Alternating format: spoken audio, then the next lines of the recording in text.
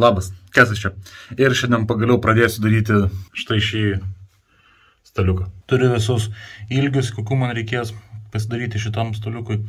Susirašęs pločius, lentų. Turiu visą sieną vėlgi prisiklyjavęs paveikslėlių, kaip reikės išsipjaudinėti. Ir pradėsime nuo būtent stalviršio. Štai va šito skydo supjaustimo ir suklyjavimo. Taigi, turiu šitą lentą, ją su epoksidu susitvirtinau jau trukimą, atsipjausiu, kiek stalviršio man reikės, pasidalinsiu ją ir tada jau pjausiu ją į lentas.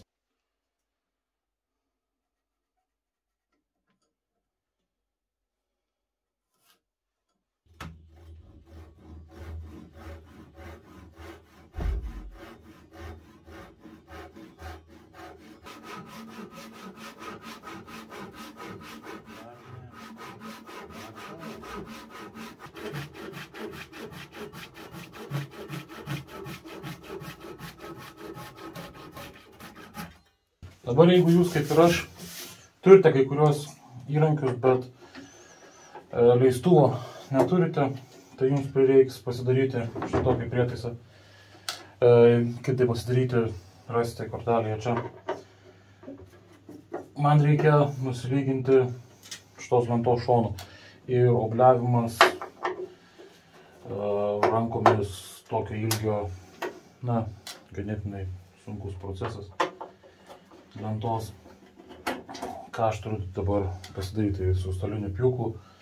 Atsipjausiu būtent tos lentos vieną kraštą, nusilyginsiu jį ir tada jau turėsiu vieną kraštą, kai lygų galėsiu apversti lentą ir turėti gražiai padarytą kraštą. Bet dabar, pas mane dabar įdėtas diskas, kuris yra skirtas darbui, na, pjauti skersai lentą, neišilgai, tai turiu pasikeisti.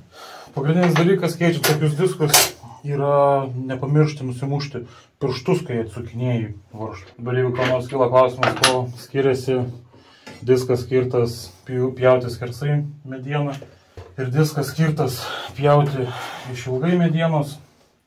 Pirmas dalykas, pagrindinis dalykas, tai dantų skaičius. Skersai medienos, bandant pjauti tokiu disku, jis tiesiog e, per daug draskys. Jeigu mes išilgai bandysime pjauti medieną su tokiu disku, jis perkais, pradės deginti medieną. E, išilgai medienos pjaunant turi būti mažiau dantų, e, dantis turi būti didesni ir e, kad daugiau pjuvenų, daugiau šūklių susidarytų galimybė jiems pate, iš, išmesti. Visada disko dantis turi būti atsukti į mūsų kadangi diskas sukasi e, link mūsų, dantis spaudžia medieną prie stalo ir tokiu būdu mes stumiam medį į priekį ir diskas yra, mediena nepraslysta į mūsų iš rankų, nėra išplėšiama.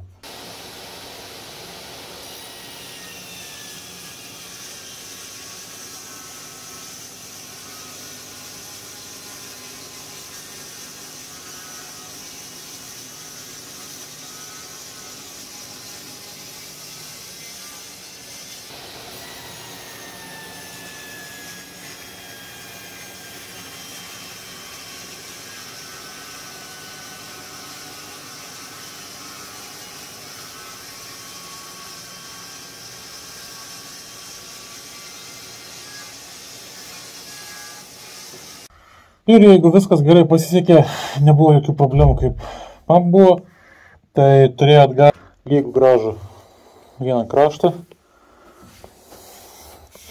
Ir dabar nuo šito krašto galima bus matuotis, na, galima bus nuo šito krašto pjautis kitą pusę, kuri bus lygiai greiti. Dabar problema yra padaryti šitos e, šonus statmenus šitam kraštui ir lygiai grečius vienas kitam. Tai tai darysiu su reismu, su reismu su turiu. Ir tam naudoti reikės kažkokią tai lygią lentą. Na, čia plokštė labiau lygią. Štai matome.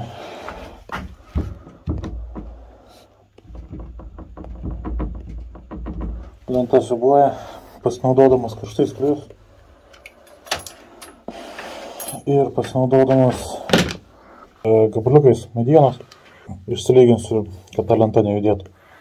Kam respiratorius po pjovimo ore dar yra pilna dulkių, kurios nebuvo ištrauktos siurblio ir jeigu aš nekvepuočiau su respiratorium, tai visos tos dulkės tiesiai nusėstų į plaučius.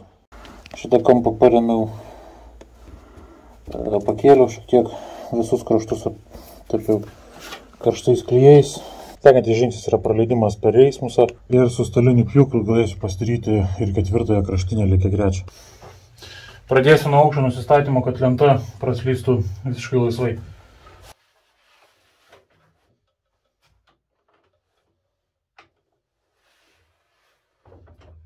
Pasiekiau aukštį minimalų, kad lenta pralystų laisvai netrukdoma.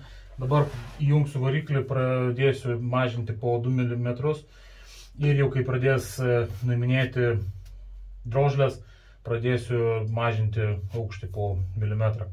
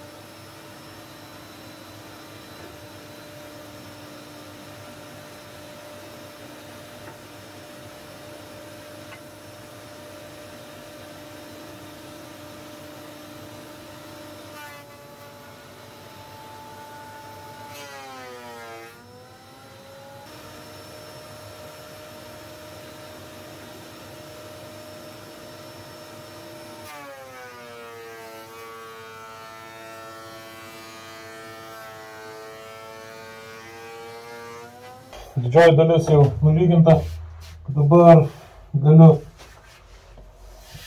toliau visiškai išsilyginti arba jo apversti e, kitą pusę, nuėmus šitą lentą ir išsilyginti apačią.